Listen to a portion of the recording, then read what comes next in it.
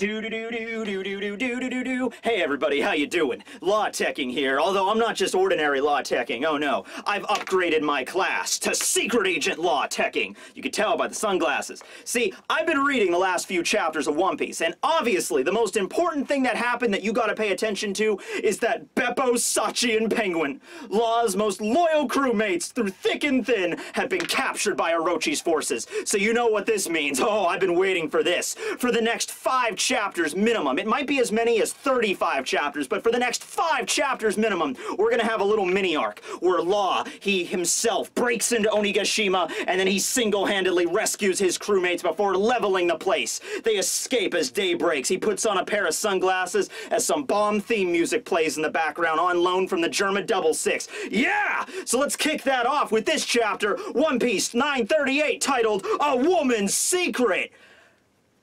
Okay, this uh, uh, this train might be on different tracks than what I figured, but uh, yeah, all right, all right. So we're we're probably not going to get that, but hey, that's not entirely impossible. I mean, I don't know if the 35 mini arc is going to occur, but you know, it's always possible because you know the Straw Hats are busy doing other stuff, and Kinemon's group are busy gathering intelligence, and there's some other problems arising. This chapter, Law might really have to cowboy up and go and rescue his crewmates by himself. Now, Law has 20 crew members on his crew, the Heart Pirates, so maybe some other people will help him out. I think the only ones that we know by name are Sachi, Penguin, Beppo, and then uh, that slave he uh, rescued at uh, Jean Bart. So he might be he might be there to help him out as well. So it's Jean Bart and Law put on some shades and go and try to rescue everybody else. That might have to go down. But uh, yeah, as for this chapter, a woman's secret. What is the woman's secret? I don't know. Um, I would assume well, it, it can't be Nami's bra size. We already found out about that a while ago. Um, so it's probably something else of relevance. Um, the cover page for this week is Crocodile. Always nice to see Croco Boy again. And he's uh, chilling out, just kind of making some nests for birds with his sand powers. So that's that's nice. I mean, hey, he, he tried to rule an entire country with an oppressive grip. He ruled an entire underground criminal syndicate. He killed probably thousands of people over the course of his reign there, but he takes good care of birdies. Oh, and he wanted a world-destroying super weapon too. That that's something else he wanted. But can you really call the man a monster if he takes good care of birdies? I don't think you can, right? All right, so uh, we continue where we left off last chapter with that epic slice down. All right, if you need a refresher, Zoro was like this, and then Kamazo was like, Ugh, and then Zoro was like, and then he was like, Shing, and that brings you up to where you are. Okay, so um, he slices down Kamazo. The dude begins to falter. Even when he's falling, though, he looks creepy as hell. He's basically kind, kind of like Otoko. Otoko, we also see her, and that poor girl is going to be having nightmares for the rest of her life. All right, she was already kind of messed up because she was constantly laughing and being super, super overly cheery of everything, just like the people at Ebisu Town are. Um, but then on top of that, she was hunted by this giant, imposing Grim Reaper dude with these two huge scythe blades just waving through people like they're freaking butter. It's like, oh, Toko, I've come for you. So now that's gonna add some trauma to the meter. And then on top of that, she's being chased by this dude, and then she witnesses Zoro just rip a scythe blade out of his shoulder and just cut the dude down with it. So you see her off to the side. She's still smiling, but it's like, "Ah," you know, that kind of stuff. Kamazo's falling, and he's also kind of like creepy, like, oh. And so everyone's freaked out by this. Gyuki Maru is standing off to the side. He's just kind of grinning at everything that's going on. So um, after this uh, exchange, though, yeah, Kamazo is defeated. However, Zoro is a little injured. You know, he got sliced right here in the shoulder. You know, and I'm not really, i I'm not a medical kind of dude. I mean, I know I'm wearing a medical outfit right now, but I'm, I'm sorry, I'm not into it. But isn't there like a, isn't there like an artery here that's kind of important? Because the heart is here, and I know there's like, you know, your brachial artery goes through your left arm, I think. You know, there's an artery somewhere that probably got hit by the giant, like, super thick scythe blade that just got ran through him. So Zoro, suffice to say, he's he's losing a lot of blood, all right? He's he's bleeding out, all right? So he, uh, after taking down Kamazo, though, he wasn't the reason he was there. The reason Zoro was there to fight Gyuki Maru to get back freaking Shusui. So he drops Kamazo, he turns around, and he's like, all right, now it's time for you. And then Gyuki Maru kind of turns and walks away. He walks on the other side of the bridge, and Zoro's like, hey, where are you going? And then he just just passes out from the blood loss. I also, I don't want to throw out the, uh, I don't want to throw it out yet. It was never mentioned, but um, maybe Kamazo might have used poison weapons. I'm just throwing it out there because Zoro has taken a lot of hits before and he never passed out this quickly. So I guess it's not impossible, although at the end of this chapter, Zoro wakes back up and he seems fine. Uh, but that might be because of Usopp's magical toad oil. That that might be because of that. It might have neutralized the poison if there was any poison. But the, the way Kamazo looks and he's an assassin, Senpai Orochi, it wouldn't surprise me if he coated his weapon with like viper venom, like freaking uh, Martell from Game of Thrones or something like that, you, you know? So anyway, yeah, that's the situation there, but it's okay because uh, you had those, you know, Toko and the mysterious woman that is totally not Komurasaki hanging out there. So they'll they'll make sure Zoro is safe. That he's not going to bleed out in the snow. All right, so now we cut back over to the Kuri region. If you need a map, keep in mind. Oh, by the way, in case you're curious, uh, I've also discovered something else interesting. I don't know about the woman's secret yet, but you want to know my secret? I'll show you my secret. Da da da da da da da da da da. Geography is everything. That's the secret. I just found this out the other day.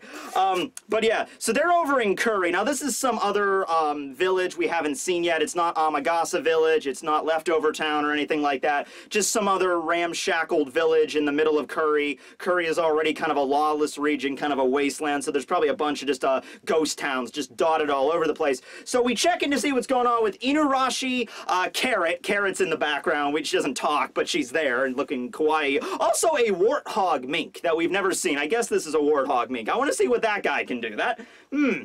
I want to see that. Ever since uh, uh Dr. Rota from Dragon Ball Super, I've been very interested in warthog-looking humanoids, so we'll, we'll, see what he can do.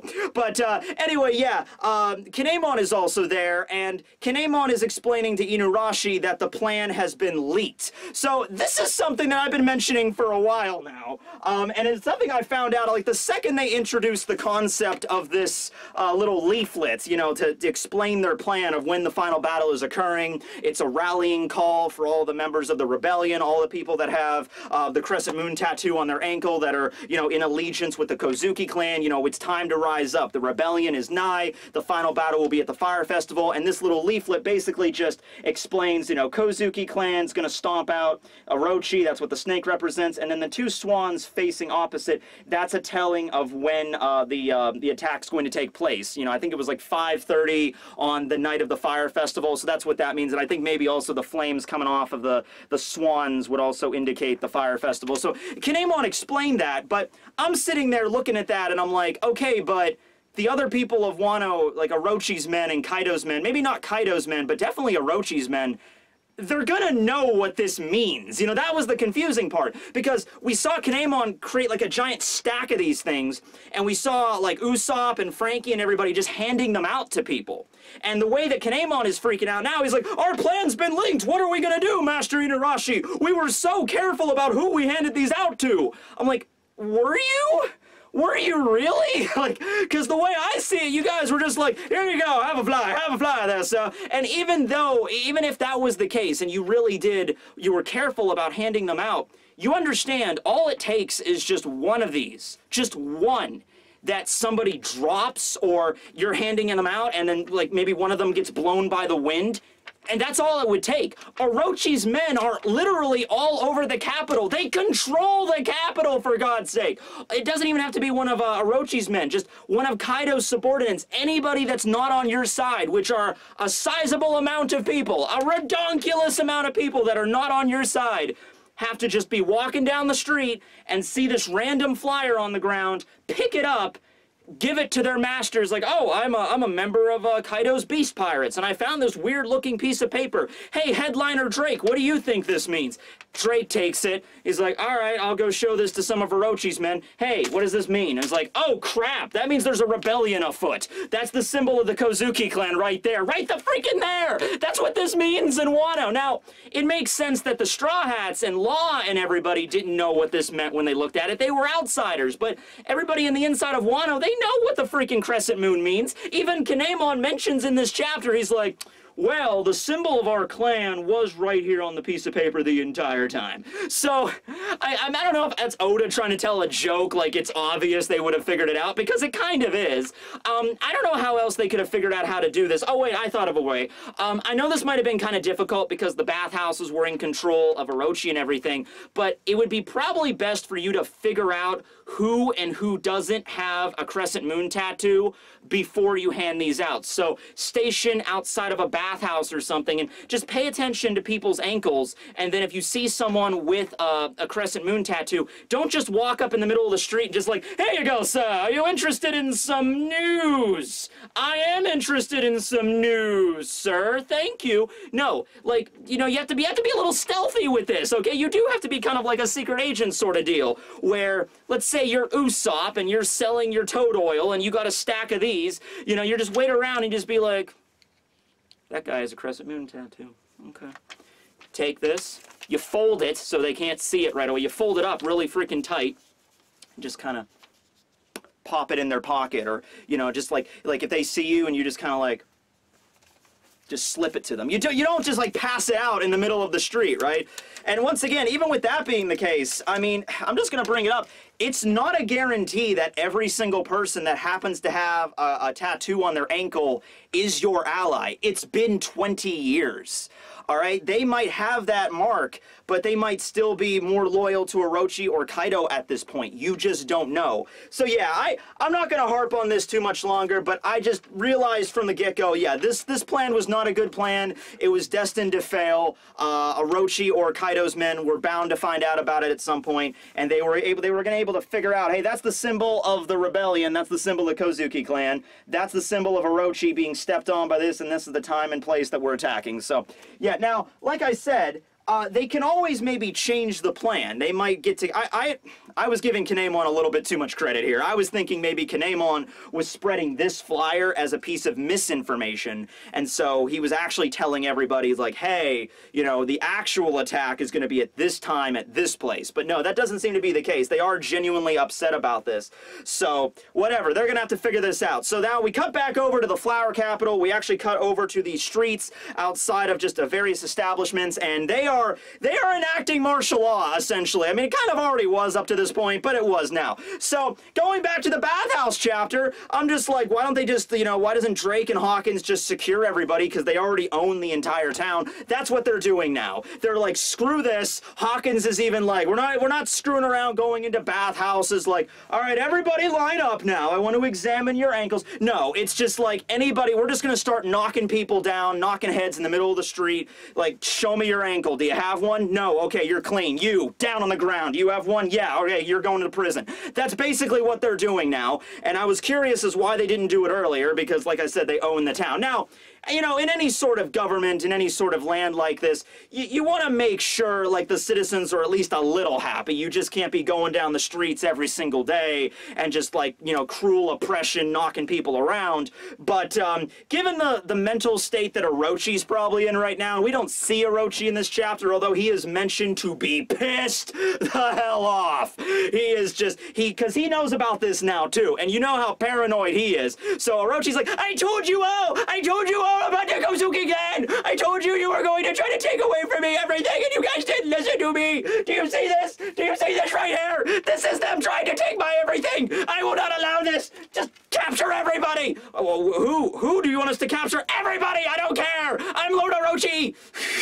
so, yeah, um, shit is getting to a boiling point in this country, alright? So at some point, I mean, I don't know what, uh, what the breaking point is for the regular citizens. Like the people that are living in the outlying areas, I mean, they're starved to death to the point where they really can't fight. Um, you know, if they get some sustenance, maybe. But when it comes to the citizens living in the flower capital that up to this point were very loyal to Orochi and his cause, I wonder what the tipping point is for them to turn over to the rebellion. Like these random people they're just getting knocked to the ground. I bet these people were, if they were living in the flower capital, and if you if you were living in the flower capital, that means that you know you're okay by Orochi standards. Like you pass some sort of vetting process, you are allowed to live there. Okay, you're either a noble or you're part of the yakuza, or, or you're just somebody that has a a really useful skill for the capital for Wano, right? But you know, eventually these people might be like, screw Orochi, this is ridiculous. I'm gonna pick up a sword and fight for the Kozuki clan. Why not at this point? You know, my family got just taken away for some stupid reason. All right, time to time to fight. So, um, I don't know. This might build to uh, even a greater revolution than what uh, Kinemon was uh, hoping for to begin with. Because as he said, you know, we did, well, Shinobu said it a few chapters ago, we're lucky to have 500 people on our side when we really need like 5,000. So it's certainly a numbers game that they're pushing for right now. And this, this, um, this new development might actually tip it to that point. So now we cut over to the Pleasure District where we see Kyoshiro's immaculate uh, palatial estate that I, I think it's basically the the uh, establishment where they hand out the courtesans to everybody. You know, it's a very very fancy kind of manner. I think we actually have seen Kyoshiro's residence, and it's like a large tower, so it's it's a different kind of building. But anyway, they're talking about uh, the situation as well with the uh, the mark of the Kozuki clan, the flyer. They're also talking about Komurasaki's wake having been canceled. Uh, so the wake takes place the day before the actual funeral, the burial itself. So they mention that the funeral tomorrow, a lot of people are riled up. A lot of people have a grudge against you, Kyoshiro. I mean, you're the head of the Yakuza and everything, but you slice down this country's national treasure. They're not going to just, uh, this isn't going to just be a pleasant experience, so that's why they canceled the wake, because there's like people gathering outside of the pleasure district, holding up, like, Komurasaki forever! How dare you! Yakuza bastard! You know, so that's not going to be good. Now, Kyoshiro, he's, he kind of reminds me of, um, am I the only one that's getting like Gin Ichimaru vibes from Bleach from Kyoshiro? Maybe it's just me, but he's the kind of guy that's like, you know, he's a schemer. He's this brilliant Machiavellian schemer. He's got all these master plans and he doesn't show it on his face. He's like a snake in that respect. All right, he's just like, I have my plans. I have all this, but I'm not going to let it be shown on my face. And even here, he's just chilling out on the balcony smoking a pipe and just like, yeah, his country's going to be, yeah, it's crazy, crazy crap going on right now. Orochi's mad bunch of people gathering outside the pleasure district. They're mad at me for cutting down Komurasaki. Yeah, this is um, yeah, their grudges are going to be born here. This is going to be crazy. But at the same time, he doesn't seem concerned with it. He doesn't seem like he's pacing back and forth like, oh man, what the hell am I going to do? Or he's not sitting there like, eh, eh, eh, all according to my master plan. Well, he's kind of doing that, but he's not like to the level of being like an old school, like Saturday morning cartoon villain where he's like, he's like Dr. Claw or something, just like, oh, oh, oh, I have achieved. you know, I have achieved my master plan. It's all going going according to it. But no, nothing like that. But uh, yeah, yeah, yeah. So you know, keep a, keep an eye out on Kyoshiro. He's planning some stuff. So now we cut over to Ebisu Town, outside of the capital, where we see the funniest scene of the chapter: Sanji having the ever-loving crapple just smacked out of him by Nami. Like his face looks like um a giant grape. Just imagine like a giant, you know, thing of grapes. That's basically his face. And, you know, or she, you know, how it typically goes, you know, Nami slaps the crap out of him and they usually get a giant bump. But no, there's like his entire face is just misshapen. Um, and even, so, uh, no, uh, Franky in the background is like, how many times do you have to hit somebody to make that happen? And I counted, and I think it's like 14, 15 times. 14 or 15 Nami slaps, and that gets you where you need to be. Sanji's there like teetering on the edge edge of death, like, uh, you know, it's not nice to uh, suspect your friends. I didn't even see anything, Nami-chan oh man, I think I'm about to pass out. you know, now that's totally a lie. He totally saw everything. But yeah, so yeah, that that was the um, retribution that I was waiting for because like last uh, when they when they met each other at the bathhouse, it didn't really seem like Nami was immediately mad at him, more concerned for his nosebleed, or I guess that was Robin that was concerned for the nosebleed. But you know, I guess they were more concerned about getting out of there. And I wonder how this went, like, because Nami doesn't know about the stealth black suit, so I'm wondering if after they escaped and they landed back at Ebisu Town, I wonder if Nami was like, okay, what's up with that suit? And either Sanji told her, or Franky did, or Usopp, or somebody else told her, and just like, maybe Law did it. That would have been funny. Law's in the background, just like, Nami's like, what the hell are you wearing? Law's like, oh, that's the stealth black Germa double six suit. It allows you to turn invisible. Sanji's like, no, just shut up, shut up, shut up, shut up. but Law blurts out, like, I'm sorry, I'm a fan of the comic books. What are you gonna do, man? What are you gonna do? But uh, yeah, and then Nami's like, invisibility, you say? So you were there the entire time. So now Nami probably has to take extra precautions when she's on the ship. She has to like make sure to deadbolt the freaking bathroom door and secure it with like 15 steel plates before she takes a shower every night because of that now. So that'll that'll be fun. But anyway, uh no, we cut over to Law and Shinobu and they're having a huge argument because she, like they're actually pissed at each other. Shinobu thinks that it was uh Beppo and Sachi and Penguin that they're ones that that you know spilled the beans about about the plan, and so they're the ones that told everybody. Once again, I don't think this is a problem with any particular person in per, uh, per se. I think this is a problem with the entire plan just in general. Like, somebody should have, like, Law, you're, come on, Law, buddy, you're a smart dude. You should have spoken up. I can understand Luffy and everybody not saying anything at the time, although, like, people like Robin certainly should have brought up some problems with this plan, but I can understand. Well, I don't know if Robin was with them at the time.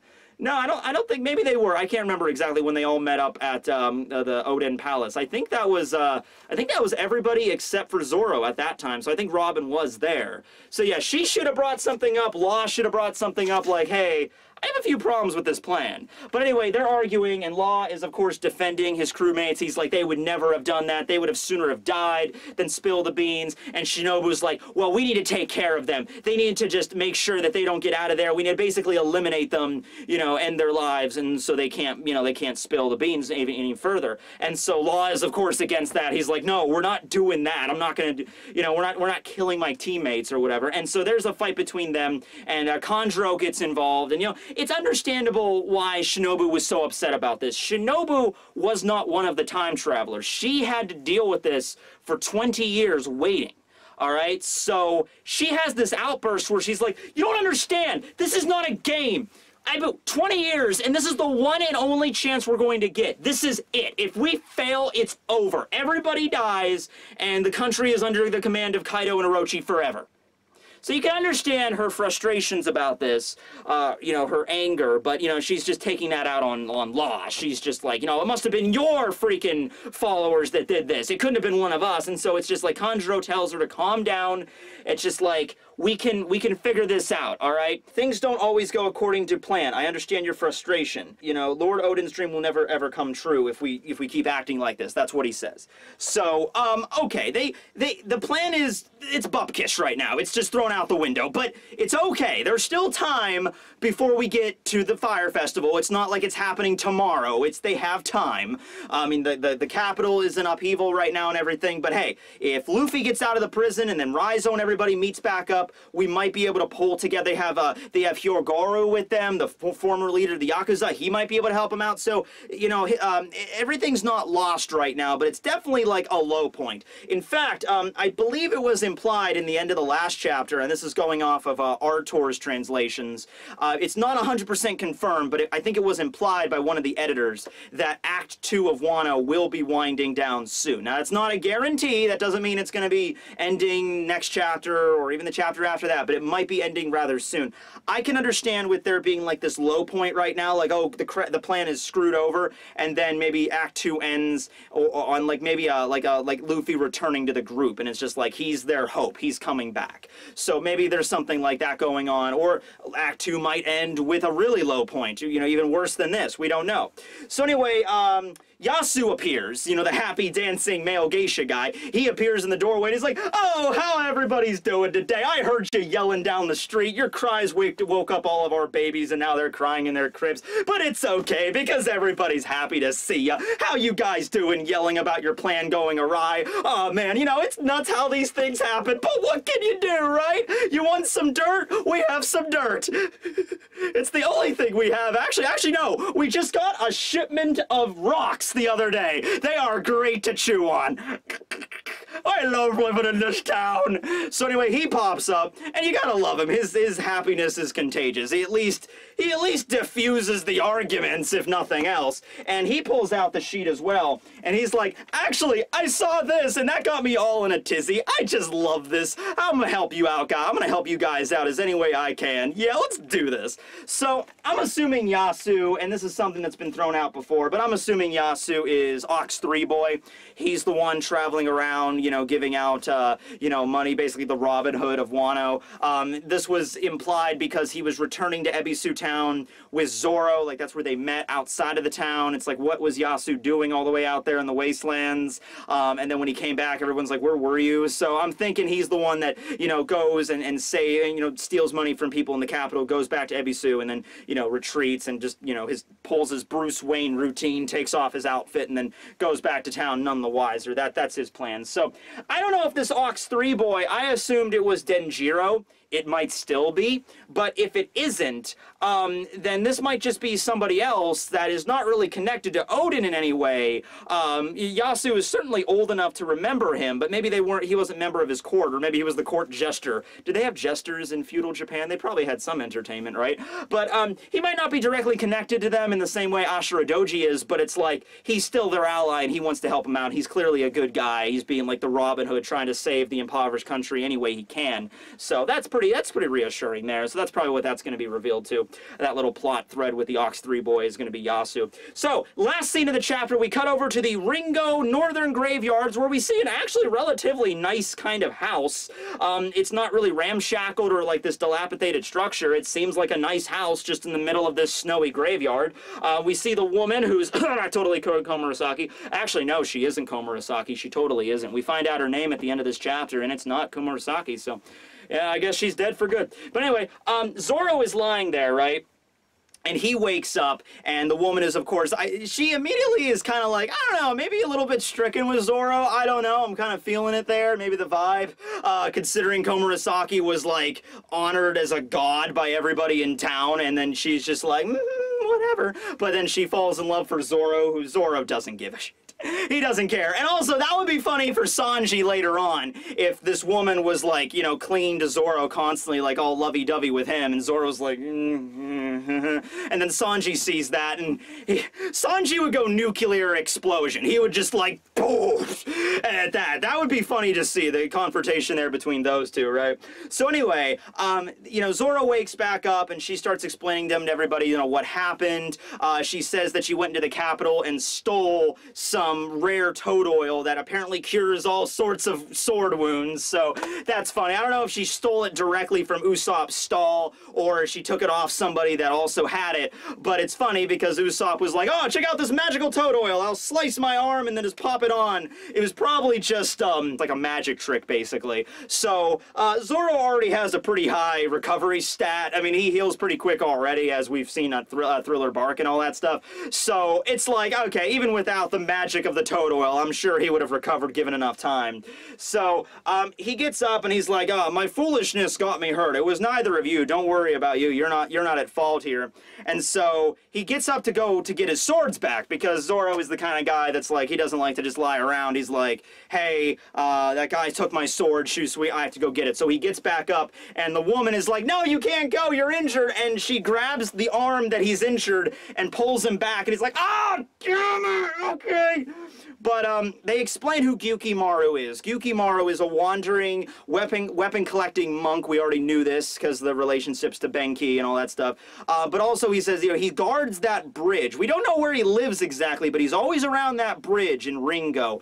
And anybody that tries to cross that bridge wielding a weapon, uh, Gyukimaru will appear to try to steal said weapon. So Zoro just starts eating and he's like, oh, okay, I guess we're not in a rush then. We don't have to worry about him disappearing forever. All I have to do is go back to that bridge and he'll appear, probably trying to steal my my Kitetsu or my Wano or uh, Wado, not, not Wano, my Wado or something like that. So there's not a big concern with that. So um, Toko is there as well, by the way, and so she's safe, uh, realizing they're going to pretty much be on the run for the rest of their lives. So it's either they defeat Orochi and Kaido or they're just going to be, you know, living in hiding for the remainder of their days. So I guess they kind of have to help out Zoro here. And the end of the chapter is um, the woman uh, introducing herself and asking Zoro, hey, uh, by the way, do you know my younger brother? We were separated around 20 years ago, and uh, I was wondering if I could meet him. Uh, his name is Momonosuke, and my name is Hiyori Kozuki.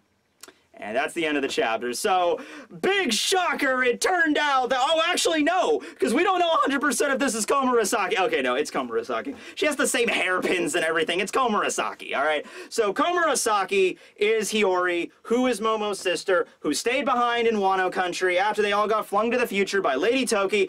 Uh, still want to find out why she did that. I want to know why Lady Toki decided to leave her tiny little daughter basically alone because Lady Toki then said she took her own life. Now, I don't know if it was right after the time jump that she gave up her life, because otherwise, this would have been rough. I mean, Shinobu stuck, uh, st uh, stuck around for a while, and Kawamatsu did too. Forgot to mention this, but when they were in that cell, when Raizo found Kawamatsu, he mentioned that he was locked up for about 13 years, which means he was free for seven years after the burning of the castle and everybody got sent to the future. So, Hiyori might not have been completely alone. She would have had Shinobu, and she would have had Kawamatsu maybe to protect her as long as, you know, she was a child child, and so maybe she could grow up to the point where she could fend for herself. Uh, Kawamatsu eventually got captured. Shinobu stayed in hiding. Um, but yeah, she was definitely around, but there's certainly a purpose why Lady Toki did that. I think it's either because uh, she wanted to entrust Hiyori with her devil fruit, because Lady Toki knew she was going to die, and she couldn't let that fruit get reincarnated and let Kaido or Orochi's men get a hold of it,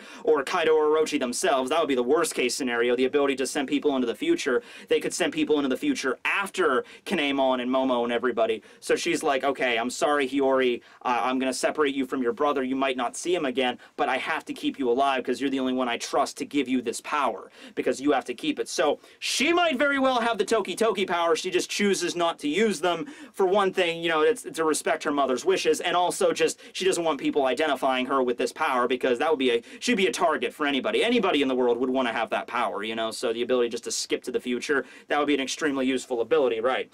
Also, I wanted to bring this up, and I didn't have a chance to do it before, but I just want to mention it now. Um, so, with the reveal of Volume 92, we actually got the color schemes for Toko and Komurasaki, or Hiyori and everybody, and I just really am fascinated by the colors that Oda chose. Uh, Komurasaki has, like, this really light blue, uh, kind of like turquoise hair. Toko's hair is pink, and the way Oda explains this is in feudal Japan, I guess they didn't have a lot of colors to work with, or certain colors were outlawed by the feudal lords and everybody. Like, you're not allowed to wear brightly colored kimonos or something. So Oda decided to change it around for his story for Wano. He decided to change it and be like, oh, I'm going to fill it with colorful palettes. So I just wanted to bring that up because I found that interesting and it's a kind of a unique design for Komurasaki and Toko and I'm sure a lot of other characters are going to have that as well. I, I shudder to feel what like Orochi's uh, color palette is going to do to me, but you know, we'll, find out about that when we find out about that. Also, we also at the end of this chapter get like a, um, it's like a map of Wano,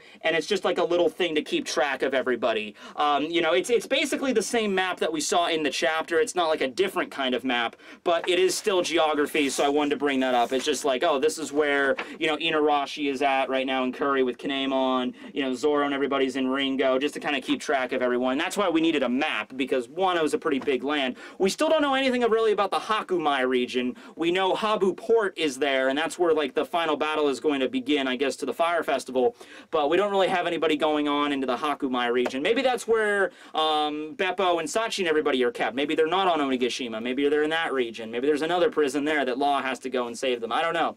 But um, yeah, relatively short chapter, not very much. Oh, and there's a break next week, so keep that in mind. Um, so I think this is a sign that, yeah, Act 2 is probably winding down. Uh, maybe next chapter, the chapter after that, it'll be the end of it. Uh, I think we have to check in with Luffy at least one more time. I'd like to see Luffy at least maybe not reunite with everybody by the end of the act, but at least break out of prison by the end of the act. You know what I mean? So that can you know move on to Act Three. And Act Three is going to be the intense one. Act Three in a, a traditional kabuki play is where like the most intense uh, stuff goes down, like the final final battle and the climax and all that stuff. Um, that's act three and act three is probably going to be the longest act.